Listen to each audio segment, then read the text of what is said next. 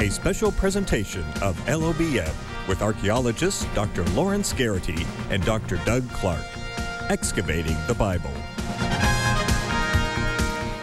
Welcome to this edition of Excavating the Bible, What Archaeology Can Teach Us. This program is dedicated to exploring what Middle Eastern archaeology can teach us about the Bible.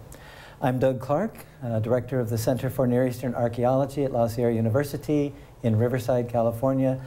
And to help us explore biblical connections with Khirbet Ataruz in uh, south central Jordan is Dr. Chung Ho Ji, who's the director of the project and is in the School of Education at La Sierra University. Mm-hmm. My co-host is Dr. Larry Geraty, former president of La Sierra University, founding director of the Madaba Plains mm -hmm. Project. Uh, as we talk about uh, this site, we want to talk about biblical connections with the site. We want to talk about archaeology and what we can learn from it. And so I think maybe to start with, we ought to find out what this site is. I've given this Arabic name, and that's what it is. That's not the biblical name, though. Close, but not that's the biblical right. name. Uh -huh. So let's think about the site, its location, mm -hmm. and if you want to, we can uh, come over here to the map, uh, and you can tell us where we are. You see on this modern Jordanian map, Ataruz, it is a site in central Jordan, very close to Dead Sea actually, if you're standing at the site, you can see Dead Sea with Jerusalem and Jericho, not far away. So it is a pretty strategically located, but also kind of in some ways remoted places. But it is the place that is mentioned in the Bible in the name of Ataroth. So most scholars, they agree with us that this is the biblical Ataroth. And also this is the site that is mentioned in ancient inscription.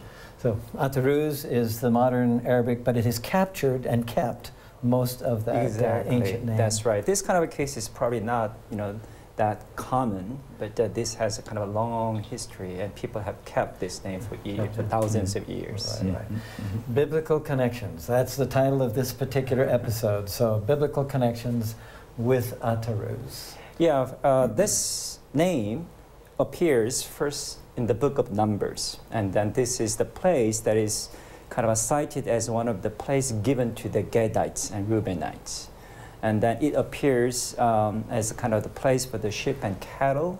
In other words, Gadites and Reubenites were very much into this kind of a cattle grazing and then kind of in some ways nomadic but also sedentarized life as well. And that's mm -hmm. going to factor into our thinking about a, a, major inscription with the sheep and so on. That so is right. You, you, yeah. It was important to mention that because that is the text is very clear about that, the sheep and the cattle. That's and right. And that connects mm -hmm. so well with this other text. That That's right. As compared to the Madaba Plains, uh, this area is called currently Jabal Hamida. It's very arid and dry and then it is difficult to have a kind of a major, you know, grain fields. So people still rely on animals in this area. Right, mm -hmm. right, mm -hmm. right. Okay, a war. I mean, lots of wars in the Bible. Uh -huh. What war are we talking about that pulls Atarot or Ataruz into? Mm -hmm. uh, in the Second Kings, the book of Second Kings, there is a very famous war that uh, rarely it happens, but uh, this particular case it happened. The northern and southern kingdom, the Judah and Israel, they teamed up together and they decided to go war against their common enemy, who was the Moabite. So in the Second Kings of chapter 3, uh, these two kingdoms, they made up the alliance army, and they go all the way down to the Dead Sea, and then go up to the north and then make a surprise attack on the Moabites. Now they collected someone else. There was another king that they brought with them, which is also an unusual alliance. That so you have Judah and Israel, and then the Edomites are somehow That's right. sucked into together. this from the south, and then they come up to the north. I think the reason was at that time the Moabite, their power and military force began to grow. And then the neighboring you know, kingdoms or the chiefdoms begin to feel kind of uh, threatened by this growing power. So they may decide to together you this growing power. Mm -hmm, mm -hmm. Okay, and then so we have an account, and it takes up all of chapter 3 mm -hmm. of Second Kings. Um, the attack, there are, there's a, they're running out of water. Uh, yep. There's mm -hmm. the miracle of the water. Mm -hmm. There's a ruse set up by the water. It kind of looks like blood from one side right. as the sun is mm-hmm. rising. Yeah. On top of that, uh, there's an interesting story that uh, about uh, when they sees the capital city, the Moabite king decided to sacrifice his son. And that happened at the right top of the gate, and then people got so afraid of this. And then they decided to retreat. So that was the end of the war. So the alliance army, they never, in other words, they couldn't prevail the Moabites. Right. But uh, there is some kind of a, uh, i- if you travel this area, you will see really there is no water. It's very difficult to collect you know, water, unlike the, the western side of the Jordanian, I mean the west side of the Jordan River. And then so you will see hundreds of hundreds of cisterns in this area. So the making the war uh, in a kind of a large scale, you know, in a long period of time was a major challenge for anyone. And the Moabite knew more than anyone else about the difficulties that the enemy is going to face. Mhm. Now, there's some indication, and I see you've put the plateau of Kerak on here. Um, and I think, and many people would say that the, the, the city where this ended up, where this sacrifice of the eldest son was made, was at Kerak. Is that is that correct, or is Well, that? th- that is not really, you know, we- that- no one really knows, right? Okay. Because uh, between uh, here, we probably need to introduce the stele called the Mesha inscription. Mm-hmm. Probably one of the most famous inscriptions, a stele that is found in the Levant area. What's a stele? Many of our viewers may not know what a stele kind of is. like inscribed you know, stones. Mhm, and then especially this Mesha inscription is recording how the king of the Moabite, whose name is Mesha, waged war against the Israelites and how got the victory over them and prevailed, you know, those. And then in this, you know, inscription, um, they, he really kind of make a huge kind of stories out of it, saying that how he uh, captured you know, a dozen of cities from the Israelite kingdom. Mhm. And then what he did, you know, to the people is to live in those, you know, cities. Mhm, mhm. And then one of those cities, the place that we're excavating at Teruth. And uh, what is described in the inscription, amazingly coming in kind of a, together with the archaeological evidence that we're excavating. So uh, this the story in the second book of second, I mean, second you know, books of the Kings, and then Mesha inscription still a story. Which one comes first? Mm. Which comes you know, next? It is very difficult, you know. So one of the many scenarios, of course, you know, going on about that. Uh, You know, it's really unusual, isn't it, to have an experience that is described from the Bible's point of view as well as from an archaeological inscription that's been found.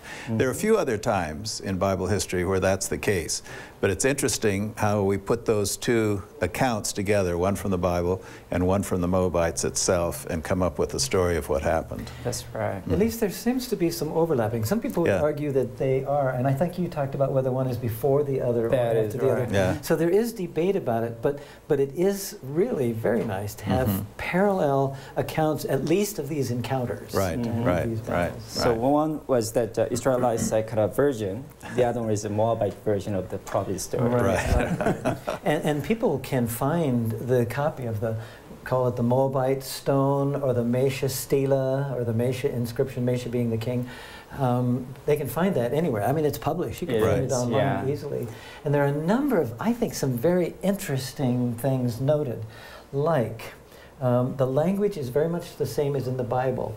Um, We Mhm. did not behave as God asked us to, so God Mhm. raised up an enemy. Well, it's the same with Mesha. Now, Mesha right. says we did not believe, or we did not, not behave as Mhm. Chemosh, our God, Mhm. wanted us to, so raised up the Israelites. So Mhm. this language is uh, is so similar too. That is right. The, the, if you win the war, that is the victory of God. That's right. That's right. That is, if you defeat it, that is the defeat of their God. So it's very much, you know, interwoven, you know, as we read in the Bible. and the sacrifice of the whole population. That happens two times in Mhm. the Mesha Stela, um, where um, to, to demonstrate his honoring of Mhm. Chemosh, the, the Mhm. Moabite god, he puts everybody in what we would call biblically the ban. Uh, everybody's killed. Everybody's destroyed. That's it's a sacrifice. It's a, it's a whole burnt offering. That's right. And so we have that in the Mesha inscription, which is really, I think, very That's right. You, you said that two places mentioned in the Mesha inscription has that kind of, uh,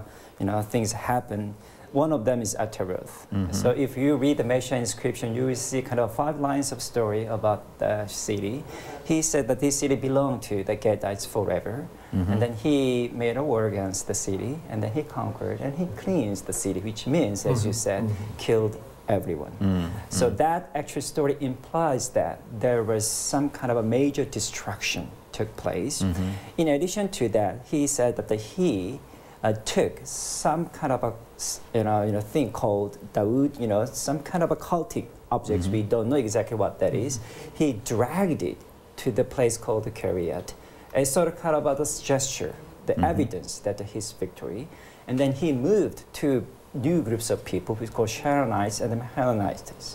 So this, you know, story indicates that there was some kind of cultic importance embedded in the city, because the king does not just kill the people, you know, in ordinary cities. Right. So there is some religious importance embedded in the city. On top of that, he evidenced that he took something, you know, from mm-hmm. there mm-hmm. as the kind of the gift, as a kind of a contribution, you know, kind of offering to their god Chemosh. Mm-hmm. So by reading the Mesha inscription itself, we could imagine that something significant embedded and buried in the Ataroth, and that has to do with religion. That's all a setup to say what you found, right? Yeah, it is. It is. I mean, and it's not just uh, looking at it from the past. You are actually talking about it how we would imagine we would find something there that is religious or That is cultic. right. That's the language Mhm. archaeologists use. So um, we would expect that. We would anticipate that even That's before right. beginning. Mhm. But now you have the demonstration and the proof that that is the case. So, what did you find? That's the exciting part. Did Well, it relate to the biblical story and to the Mesha Stela? Can you connect them? I think, uh, you know, we need to often be very careful to connect textual evidence with archaeological Right, evidence right. because archaeology itself is a scientific endeavor, but also it has a room that Mm-hmm. we need to interpret, you know, the findings. Uh, so, as I said, that uh, in the Mesha inscription implies there was a major destruction, some Mm-hmm. kind of a massacre took place. So it's naturally when you're excavating kind of a place that is connected with that kind of story, you're looking for destruction layer. Mm-hmm. And then that's exactly what is I'm finding in Ataruth. And then not just the destruction itself, in terms of pottery chronology and also the stratigraphy, that well aligns with this time that the Mesha inscription is focusing on. Mm-hmm. So uh, this is not really proving kind of the biblical story, but this is kind of providing context and then empirical data that, that the historical, like a textual evidence, Mesha inscription, can tell us something really historical and significant about the past. Now let's look here. Uh, now we have a picture of the Mhm. Mesha Stela, and maybe you want to just say something about it, the size of it, and incidentally the dating. We haven't really talked about Right, that, ninth right. century, but what general dates are giving to the That's Mesha? right. Uh, Mesha inscription, actually, there's a very interesting story behind the discovery of this mm-hmm. inscription. According, it was about 1870 that the Europeans began to hear about kind of a standing stone with inscription in mm-hmm. the city called the Dibon. Dibon mm-hmm. was the capital city of the Moabite kingdom. So they were interested to go and then find, but when uh, that thing happened, that the Beni Hamida, who was the local tribe, Right. they waged war against the Ottoman Empire and they got defeated and they got angry at that. and then the Ottoman Empire, when they heard that the Europeans were looking for this particular important you know, Silla, they gave a kind of pressure on the Bich Hebel um, Beni Hamida to release and give it to the German, you know, the travelers. And then when they find out that the really that's coming from the Ottoman Empire, they got so upset. They broke it to pieces, and then, you know, sent it to all kind of clans and the families in the, you know, the tribe. So it took quite for some time for this, you know, German, you know, archaeologists they bring those, you know, pieces together, and then they, you know, put together and then they read. But fortunately, before that thing happened, they actually uh, made a copy of the, all the inscriptions on the writings on the inscriptions. So even though the collected pieces was not complete as you know the original one, but they actually could together and then compare it with the um, the copy that they made, so they could, you know, make a, and read the stories, it, yeah, right, right, right. complete the inscriptions. Now, one, one more note. Before the 1870s, when the French and the Germans and the British were all interested in this, Mhm. it was a medical missionary, German by the name of Mhm. Klein, A.F. Klein, Mhm. or F.A., anyway, uh, Klein, a medical missionary, one of maybe a handful of people in the Transjordan at the time. It was, it was just too dangerous of a place to It be. is, But he is. was respected and he was welcomed into the community because he was a medical missionary. Uh-huh, That yeah. means something to It does, uh, does. Adventists as we think about our So the inscription that they actually found is 19th century, you know, BC story is recorded, and Mhm. then the King Mesha is 19th century kind of a BC, you know, history. ninth century? Ninth- Ninth ninth century, century, yeah, right, BC, right. yeah. Mhm. So around, what, 850, 830? Is that kind of the general dating that's given? That is right. Exactly, we don't know, but the most uh, reasonable kind of a guess or the sort of kind of a majority view is 845 or 850 BC. So really at the middle of the 9th century. Okay, Mhm, okay. mhm, Now mhm. there's another inscription, and even on the slide that we have here, the, the DWD on the left side of your Mhm. column here. That's right. Um, there is another inscription from about the same time from Mhm. Tel Dan That in the north right. That also has DWD, but it also has in front of it Beit. So Beit David, Mhm. the house of David, the dynasty Mhm. of Mhm. uh, David. That's right. And they come from about the same time. So uh, Probably, that is right. It- it- I think maybe at best about 20, 30 years apart, Yes. right? Mhm, Right. mhm. So if this historical dating 900, I mean 845 or 850 is correct, I think a Tel Dan inscription is about 825 or Mhm, 20, so about 30, 40 year difference is maximum. So we're really talking about the same, you know, concurrent kind of a period, and then Dawood, this name appeared on both inscriptions. Mhm. He's using the Arabic. Right, You've got the right, Daoud, Daoud. David, the Hebrew. Yeah. David is the is the English one. So could this be referring somehow to the uh, Israelite king, David, or not? There has been some opinions about you know Mhm. that if really DWD or Dawood it really represents the David, Mhm. you know, that means there is some kind of a cultic or some kind of a memorial, you Mhm. know, Ah, s- stuff was existing in the Mhm. K- Herbert Tarot. To celebrate that lineage, to That celebrate is that right, that dynasty. is right. Mhm, mhm. Uh, but you know, in Tel Dan case, you know, of course, that the kingdom of Israel and Yep. then house of David. Beit yeah, Yisrael, that's right. Appear side by Mhm. side. So uh, the scholars, you know, kind of take that as kind of a southern part of the Israelite, you know, the people. Mhm. Uh, it is really tricky, you know, in this case because it, later we'll talk about the historical background of the Ataruth. Ataruth really seems to be more close to the northern kingdom of Israel, Mhm. not of Judah.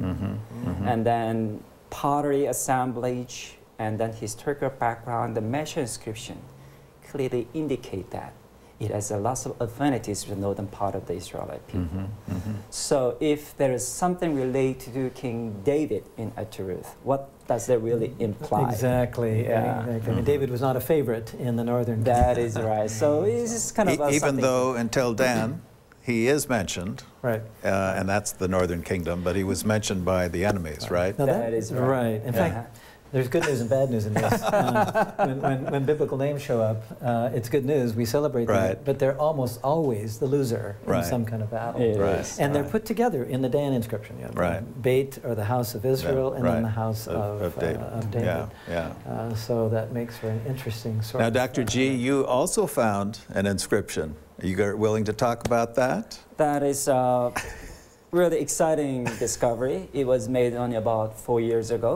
Mm-hmm. and uh, it is the clearly Moabite, you know, inscription. Mhm, In other mhm. words, so here comes kind of complexity involves. You know, if the as Mesha inscription claims, there was a Gadites was some kind of a religious installations or kind of a cultic building existing at Ruth, why we have this Moabite inscription in Mhm. the context something to do with the northern kingdom of Israel. Actually, it is surprisingly clear in terms of stratigraphy.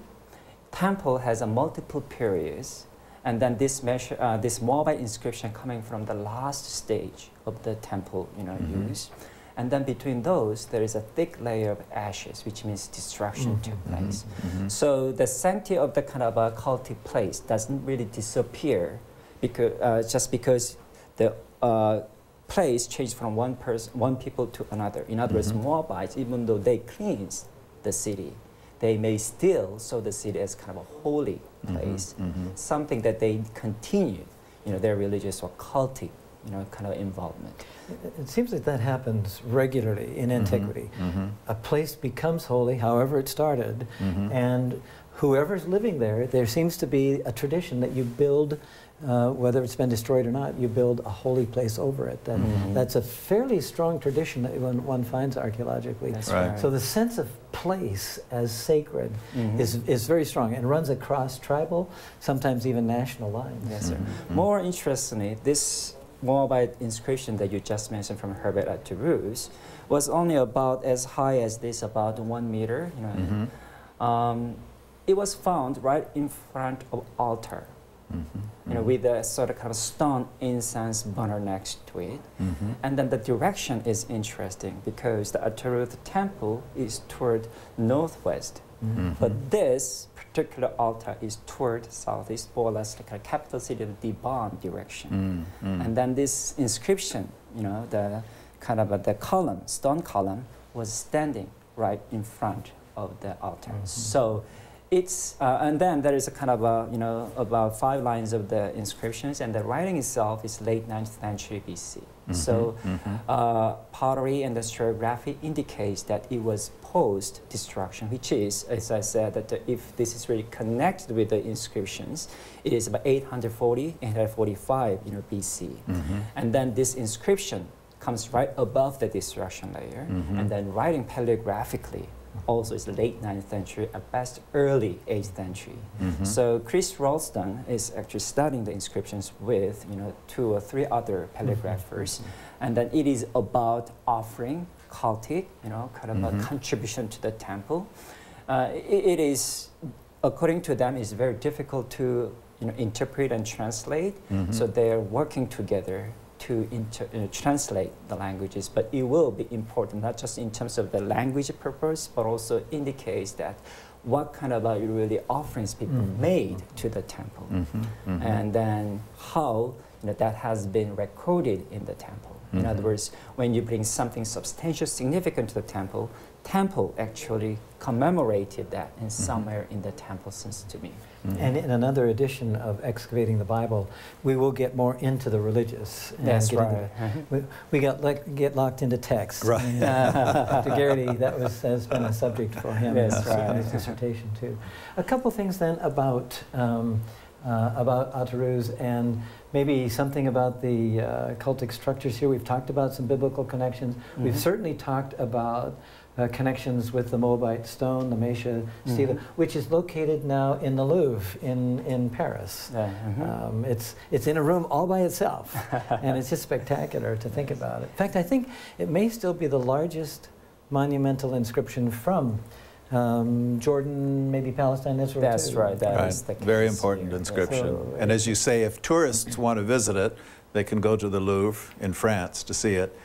But it's exciting to know that uh, Dr. G is excavating in the area that's talked about in this inscription. Mhm. So, Yeah. so what you're talking about is a tour to Paris and then There you out to go. Roos. Right, Okay. that's And right. then make a trip to Madaba Right. museum Yes, as well course. because the inscription is That's right there. correct. Right, That's right, right. yeah, So, uh-huh.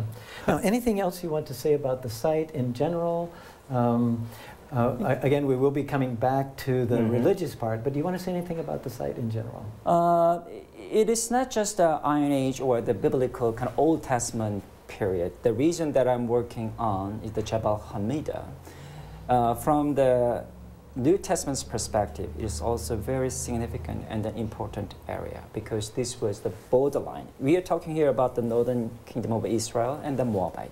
That you know, implies this is a border zone. Mhm, mhm. The- If that is the case in, let's say, 900, 8th centuries BC, that was all still the case in the first, second, and BC, and then first century AD. Mhm. So the, this is the place that uh, the Herodian and Hasmonean kingdom from the you know, west, and then the Nabateans who replaced Moabites coming from the south, they clashed along this area. Mm-hmm. More interestingly, this is the place that called Machaerus is right nearby my site. And then this is the place that uh, his Jewish historian Josephus says John the Baptist was beheaded. Mm-hmm. And also interesting enough, this is the place that King Herod's wife, who used to be the princess from the Nabatean kingdom, decided to run away to her father because she got so angry at her husband going to marry Herodias. Mm-hmm. So from this place, he contacted uh, her generals from the his I mean her father's you know uh, kingdom, and then she ran away in the night with their help. Mm. Mm-hmm. So there is some kind of a New Testament histories and stories involved, and then this reason is really many of those military forts and then evidence from both sides, and then it helps us to understand the New Testament as well. So the, so the very site where John the Baptist's head was brought on a platter, mm-hmm. uh, we call it Machaerus, yeah. where Herod was, was, uh, had, had his fortress, is within sight of Ataruz, the, t- the site that you've been excavating. Is that right? No, or almost. Kind of just over the hill. Just over the hill. about uh, one mile, one and a half miles right. away. But right. uh, my own site includes interesting installations like a mikveh, the Jewish ritual Okay, bath. right. Mm-hmm. And then also the road that was connecting, you know, outside to Machaerus, mm-hmm. especially mm-hmm. major highway, mm-hmm. actually go through Khirbet Ataruz. Okay. So can you uh, trace any of the Roman road? You will see, you know, uh, Jabal Hamida, as I said, is kind of arid and remote area. It's yeah. very few in Jordan mm-hmm. that still kind of uh, kept those ancient roads intact. Mm-hmm. So when we talk about ancient road, it's difficult to trace in other part of the Jordan or Israel, but not the case in Jabal Hamida area. Mm. There are two roads. One is from the Dead Sea to Machaerus. You will be surprised how intact it is preserved. You mm. can really walk on the street, on the road, that the King Herod might walked about 2,000 years ago. Mm. And then from uh, Ataruz to Jacamine, especially about one mile in the middle, mm-hmm. the ancient road remains intact. So you can see the supporting wall, you can see this, uh, you know, the stones that put on the both sides of the street, and mm-hmm. then it mm-hmm. actually goes through one major ancient site. Mm-hmm. So it's quite amazing, and then it's kind of a interesting experience that you're walking on the trail that 2,000 years ago, 3,000 years yeah, ago, yeah. people worked right, and built. Right, right, right. So I think uh, those kind of uh, you know things will help us to understand mm-hmm. how the ancient people moved from one place to another, mm-hmm. and then this kind of a King Herod's palace in Machaerus, very remote and then you know deserted area, mm-hmm. how that place was connected with Jerusalem or Jericho, other major you know, the mm-hmm. uh, urban centers. Mm-hmm. Did the road go down to the edge of the Dead Sea so that people came across on a boat, or did it go around the sea? Uh, the road down to the Dead Sea, actually there is a port in Zara. Mm-hmm. That is excavated. A, a, short answer as we're running out of time, but thank you. Yeah. so the, by sea, they could, um, by boat, they could go to the Judean desert. Mm-hmm. The northern one, they have to traverse the, the gorge and then continue to the Jordan Valley. Mm-hmm. mm-hmm. Thank you, Chung Ho. Thank you, Larry. and thank you all for joining us for this edition of Excavating the Bible what archaeology can teach us. We hope we've provided something for your mind and for your soul and look forward to our next edition. Uh, until then, think ancient, keep believing, and keep exploring. For Excavating the Bible, I'm Doug Clark.